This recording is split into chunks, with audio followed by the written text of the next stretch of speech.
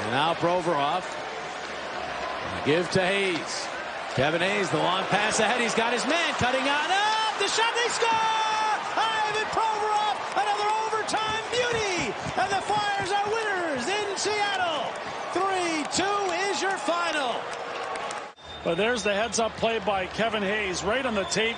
Hits Provorov in full stride. He spreads his feet across and manages to handle that rolling puck and patiently waits. Doesn't get all of it, gets enough of it.